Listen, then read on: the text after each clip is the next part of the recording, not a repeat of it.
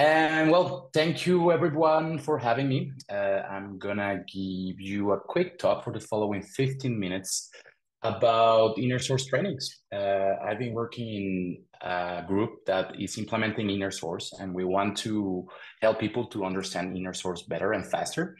So we're developing, we're in the middle of developing this program called inner source trainings.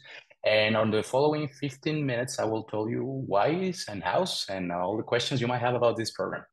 Um, a little bit about myself. My name is Emmanuel Orozco. I work in this group uh, called ADEO. We are the European version of Home Depot, if I think that's the most accurate definition. We have ADEO is a holding company of three smaller companies, uh, Leroy Merlin, Bricoman, and Weldom. Uh, but basically, we sell stuff for your home, like kitchen or garden or etc. Um, these uh, uh, companies have online stores, and we have um, physical stores. So uh, in these physical stores and online stores, we have developers like software engineers working in this um, in this uh, in these applications. We have over three thousand developers working from fifteen different countries. So when you're starting an a inner source program with all that many people, well, uh, you of course want to push them and help them to learn whatever it's of inner source a little bit faster or more effectively. So that's why the program is, and I will tell you in a little bit. Uh, but first, a little bit about myself. Uh, I've been working as a software engineer for eight years, uh, computer science graduate. And I'm been working as a developer advocate for the last year, particularly in the ADEO group. Uh, I've also worked as a professor, as a teacher in different coding schools, uh, teaching different stuff from them backend, full stack, etc. And of course, when you merge all these three skills in a single job posting of position, well, you end up with this educational program that, yeah, I will tell you how, how I started uh, creating this program. So first, uh, how this training looks like, okay? Basically, it's an online session uh, between four and eight people, okay? It's 90 minutes long, and we started this program four months ago.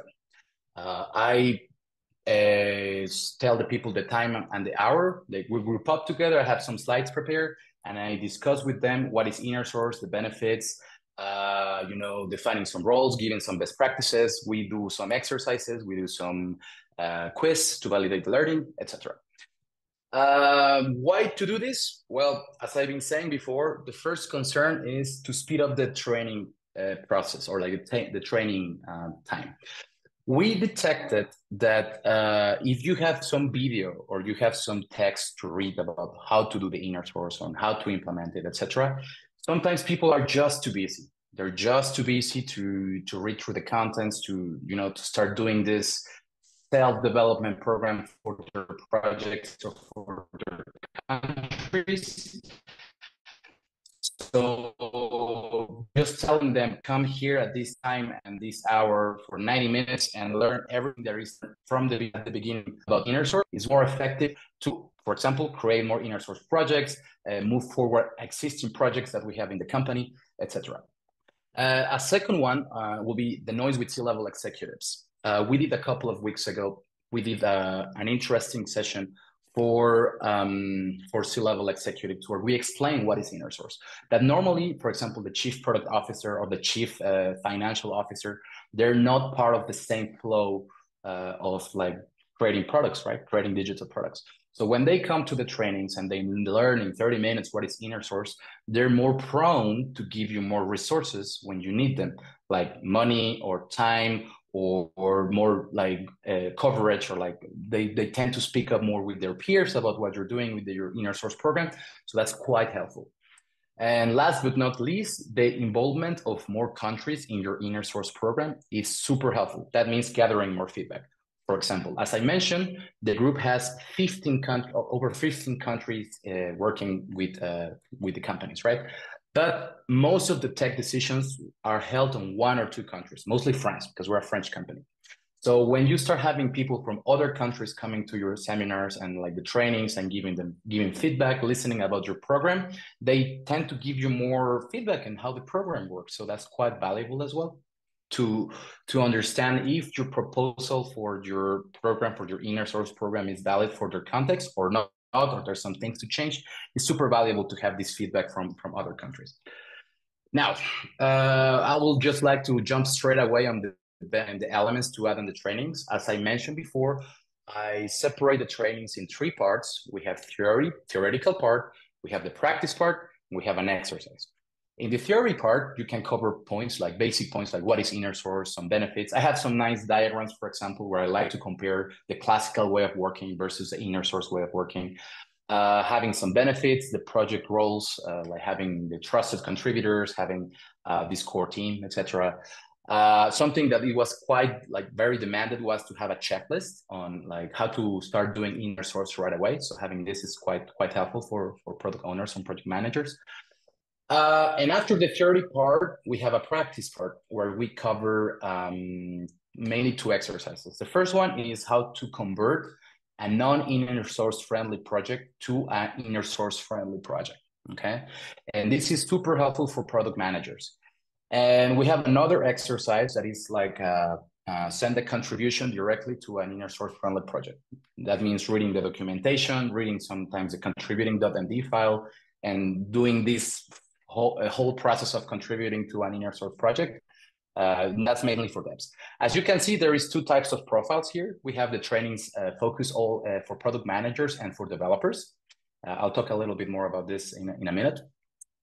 And finally, we have the exercise. Uh, there is a platform that I recommend. It's called Gimkit, uh, which basically do interactive quizzes with time constraints. And the faster you answer, the more points you get. It's quite fun. It's super effective.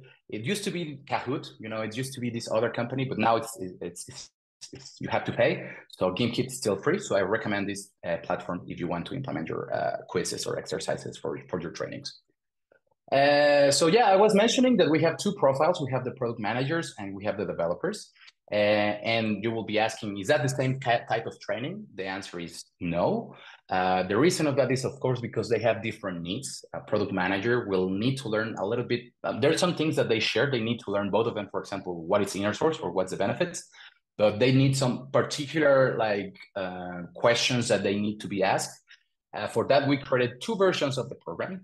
The first one for developers is called uh, Inner Source Dojo, and product manage and for product managers and product owners, we have the Inner Source Academy. Okay, so same length, just a little bit different slides with different content, uh, but some content is similar. So I'll show you what is the type of customization which uh, we did for different profiles. So for product managers, we add some numbers. Uh, product people tend to ask you a lot about the tangible benefits of doing inner source. So for those people, we track the number of contributions done to inner source projects. Uh, we tracked as well the number of impacted projects doing inner source. Uh, if in your country you don't, or like in your program in your company, you don't have, you know, access, uh, an existing program where you can get these numbers. Because by the way, we've been doing inner source for the last four years, so there's some some numbers to play with. Uh, I recommend to get some potential candidates for like how many contributions, potential contributions, how many potential uh, impacted projects you will you will get. Uh, we also like to give some tools for product managers. How to, we, for example, in the trainings, we coach them to have uh, open roadmaps where people can see what is the uh, what is the work to be done on the project in the following three, six, one year. Uh, we coach them how to do these roadmaps. Uh, we coach them, and for example, should we use GitHub versus Jira? This kind of stuff that product managers sometimes they, they wonder. Uh, in our company, for example, we have uh, Jira by default, but there's companies that prefer to work with GitHub. There's companies that prefer to mix a little bit of both. You can tweak your training depending on your uh, product context. So pretty good. Uh, we also provide them a checklist to start right away. So we have some uh, elements to be added that all the inner source projects have like for example, what to write in the README, how to generate proper documentation, uh, how to contribute, uh, how to write a proper contribute.md file where people can uh, answer questions about the project or the contribution flow, etc. Now, uh, for the developers, they're a little bit less uh, product oriented, of course, and they're more like doing stuff. so we tend to answer more uh, questions like this how to pair a program with inner source projects, how to create documentations for inner source project, how to do code reviews. Do you have any best practices, tips? Uh, how do I know if my project idea is good for inner source? Because sometimes developers themselves bring a lot of good ideas, but they don't know if it's a good candidate or not. So you just have some checklists or you can guide them if the process is, uh, is good enough, if the idea is good enough.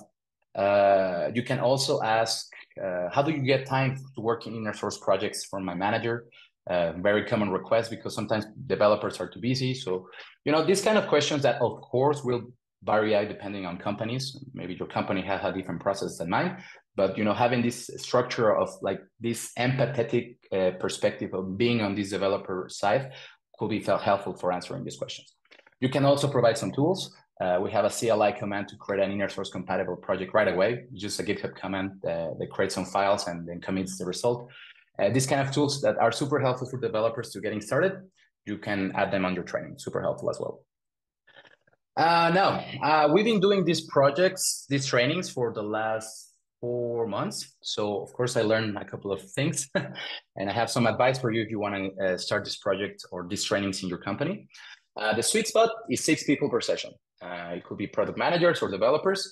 Uh, that tends to be the right spot between, you know, because we only have 90 minutes. So sometimes people like to discuss some top topics and that takes time. And if you have more people, you take more time. And if you have less people, there is not enough discussion. So six people is the sweet spot. Um, ask a lot of questions. Of course, in your training, uh, I like to, because as I mentioned before, one of the reasons we started doing this uh, program is to gather feedback from other countries. Uh, and if you don't ask the questions, you miss that opportunity. So don't speak longer than 15 minutes by yourself.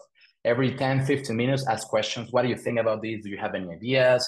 Uh, does it make sense? You know, these kind of questions that uh, embrace people like participating, uh, do them. Is and quite often it's quite quite valuable. And just be writing down all the results so you can discuss them with you with your team later on. Uh, another one is praise the feedback. Uh, sometimes when I ask, what do you guys think about this uh, initiative? We get hard feedback because sometimes people will be like, that's not good. That's not going to work. Um, and, you know, sometimes it's hard to hear that, that your work is not uh, good enough. And that's okay because if people give you feedback, it means people care. So I just encourage them to give me the hardest they can, so we can mediate. Of course, uh, we can make things better. There's a tool that I like. It's called OpenFeedback.io, which basically is like a big survey that has some questions about uh, the training and the program. And you send this link. It's a link that you share at the end of your training. And if people don't want to share this on person or on camera, you can get the feedback after the session is finished. Uh, the last one is product manager and product uh, owner training is way, way harder than developer training. Uh, plan accordingly. and the reason it's harder is because they have more decisions to take, usually, these product managers or product owners. And because of that, they tend to get like, need more context or more information to be sure that they're making the right decision. So that's why they make uh, more questions, and it's sometimes it's harder. So be prepared with a good like section of frequently asked questions or like uh, you know like give extra time for questions uh, for these kind of sessions because they tend to last longer because people have more um, questions than developers. Uh, now, as I mentioned, we've been doing this program for four months. So of course, scaling up is quite important uh, because we've been getting requests to doing trainings in different countries by many teams. And sometimes the, the, the my, I'm just doing it by myself and with a, with a partner. So sometimes scaling up is important. So the first one is training trainers. Uh, this is actually one of the uh, one of the uh, results that we have from the program. I'll share in a minute. But there's people that are interested in uh, having or sharing inner source in their respective country. So we train them, or we will train them to train other people. We just provide them some press kit, some uh, templates uh, on presentations, and they can just do their own training. Having a self-register flow like the following, it's also super valuable. It's a spreadsheet where people can see the available dates and they can just click on a link, write their email, and they're good to go for the session. We just send them the calendar invite a little bit later, but we don't have to do this by ourselves because it's very, very time consuming. And create all the training for being remote first. It's also quite valuable. Uh, that means saying no to in person. It's really good because uh, we have a lot of countries and you can just do three, four different sessions in a week with different time zones with different people. So having all your resources, uh, it's for remote only, uh, it's quite valuable. I don't see much benefits of doing in, in-person trainings in my experience. Uh, now, what we learned about the program, uh, as I mentioned before, we have an inner source advocate program. It's people that are more interested in doing uh, inner source in their countries and sharing and spreading the values of inner source in their context. So we're training them to uh, to do that. Uh, the design of the slides also is quite important. As you can see, I'm not the best like designer or expert on doing slides, uh, but the, there's people that care they like. I prefer the content, but there's people that also like the design. So we evolved, for example, this to having some more images and having uh, beautiful colors or like some nice typography. This kind of stuff is quite important for, for people sometimes. We hire, we, we got a designer to help us designing these uh, slides. And also we learned about doing a lighter version of the training. As I mentioned, it's normally 90 minutes, but we learned to do a 30 minute session where we only share uh, the basics, like what is it, the benefits, and maybe some projects doing inner source at the moment in the company, and that's it. Uh, we don't do the exercises or we don't do the quiz because this is mostly the, the shorter shorter uh, trainings are for C-level executives, so they don't have the time. So we just have to go faster just to spread a little bit about the values, and they're good to go. And yeah, finally, some numbers that I have for you. Uh, I have we started this training in June with the dojo. We have eight sessions for the dojo with 60 people trained. Uh, for the academy, we had six people, uh, six sessions with 50 people trained from six different countries. Uh, and from these uh, countries, we recruited, we managed to recruit four, four different ambassadors in the uh, Inner Source Advocacy Program. So as you can see, it's, it's, it's, people that really like the program, really like the concept, that never heard about it before, and they want to participate and be more involved in the, in the program itself. Pretty cool. Finally, we had uh, two new inner source projects created because we we asked people what they think about the program, and they have at the end of your presentation, and you ask if they have any ideas. And sometimes people come to you and they said, "Oh, I want to do this project." So we created two new two new projects doing doing this question. And yeah, I think we're still perfect timing. Also 16 minutes. So I dedicate some time for questions or open the discussion if you have some learnings to share as well. And yeah, that will be on my site, on my presentation. Uh, guys, I hope uh, I hope you like it. And thank you very much.